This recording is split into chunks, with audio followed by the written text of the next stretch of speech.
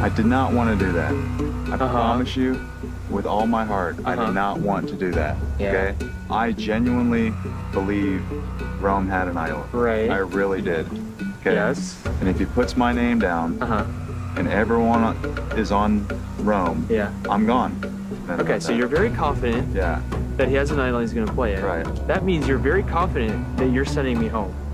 Well, Of everyone on God's green earth, right. you chose me. Right. Why? Okay. Me voting for Andy gives me some work to do.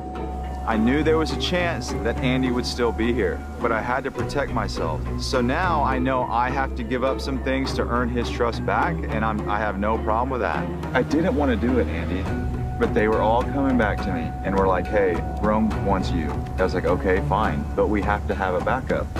Gata said, Okay. all right, we'll give up to Andy. Okay. So that's when I was like, I don't who exactly? It was Sam.